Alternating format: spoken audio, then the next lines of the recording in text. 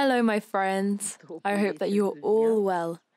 Take a look at this beautiful white lion. Isn't he absolutely gorgeous? His name is Leon, and he is definitely one of the most handsome white lions that I have ever seen. Aren't you, Leon?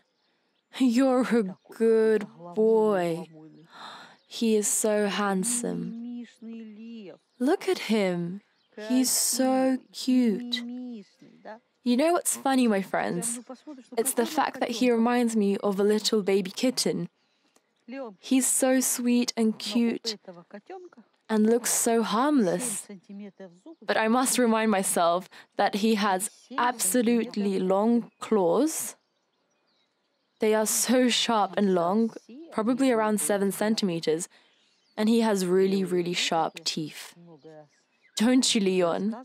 Yes, I know you do, but you are still so cute. The main thing that differs white lions from other lions is the fact that white lions do not have the best character. They are quite naughty and unfriendly when it comes to dealing with humans. But Leon's brother, who is called Rookie, was incredibly friendly and even let humans approach him after we released him back into the savannah. If you scroll back to our older videos, you can see how Oleg Alexeyevich strokes, cuddles, and pets a white lion. And this is amazing and incredibly rare because white lions really like their personal space and don't usually allow humans to touch them.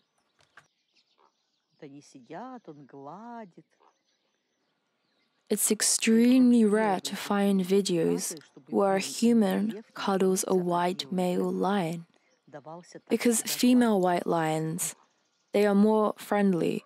However, to find a friendly white male lion is incredibly rare.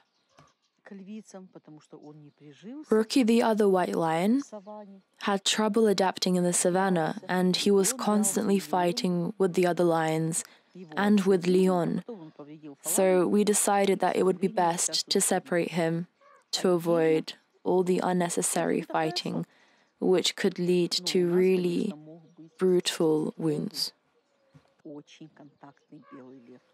Over the past couple of months, Rookie and Leon's characters have changed. They both have become more calm and more friendly.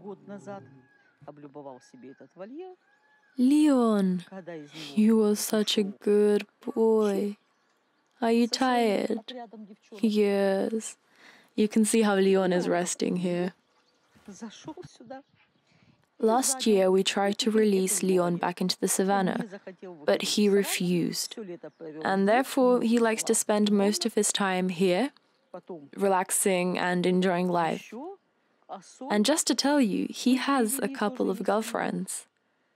He used to have a girlfriend called Mona, and before Mona, he had a girlfriend called Asol.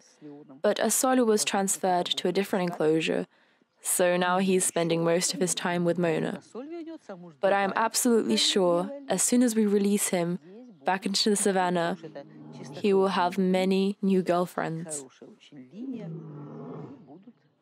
Oh, Leon, it's all because of how handsome you are. You do know that. Can you hear the roar of the other white lion? Let's go take a look.